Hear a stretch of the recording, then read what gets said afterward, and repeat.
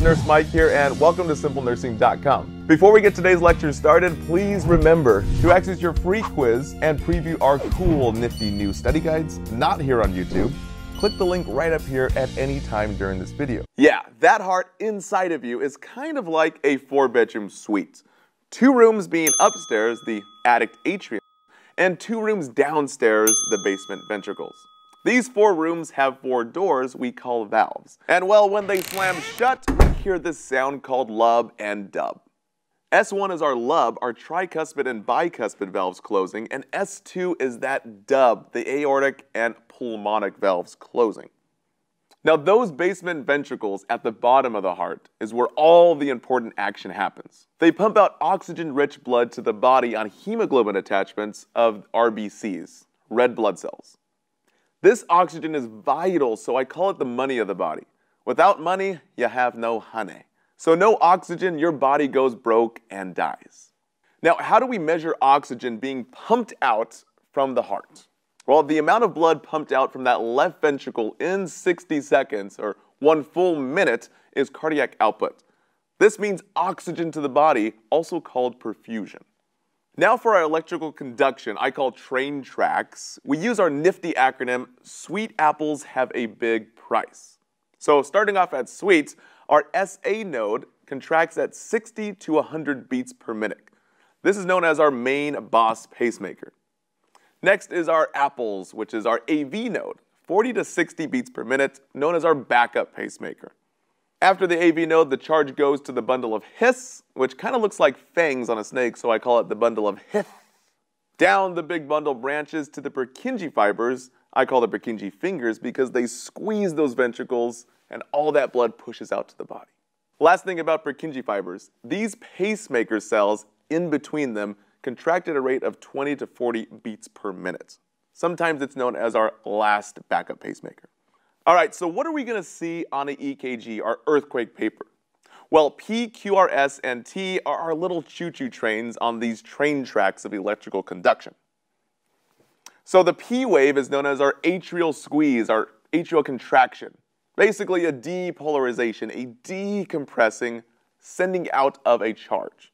Our big QRS wave is known as our ventricle squeezing, or basically contracting, depolarizing, decompressing, basically sending out a charge. And the T wave is for the ventricles relaxing, repolarizing, basically refilling with blood because whatever goes up must come down.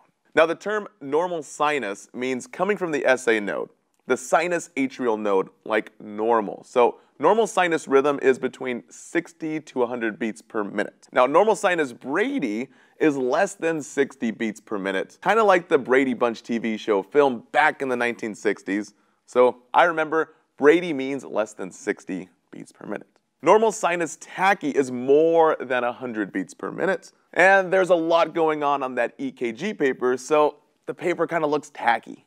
So using our five steps, let's interpret our sinus rhythms. So step one, counting the R peaks, then multiplying by 10 because every single strip is usually a six second strip. Just like I showed you in our full video, normal sinus rhythm is between 60 to 100 beats per minute. Normal sinus Brady is less than 60 beats per minute. And normal sinus tach is over 100 beats per minute. Now, step number two, the rhythm, all of these will be regular and evenly spaced out between our R peaks. Step three, the P wave will be present, normal and upright. Step four, the PR interval is to be normal basically less than five mini boxes. And lastly, our QRS, those ventricles depolarizing, or basically squeezing, it's going to be normal, upright, and less than three of those mini boxes wide. Nursing interventions and treatments for normal sinus rhythms. So what are we going to do about it, guys? Well, what's the main patient outcome goal? Well, it's always in any crazy dysrhythmia, we want to restore a normal rhythm.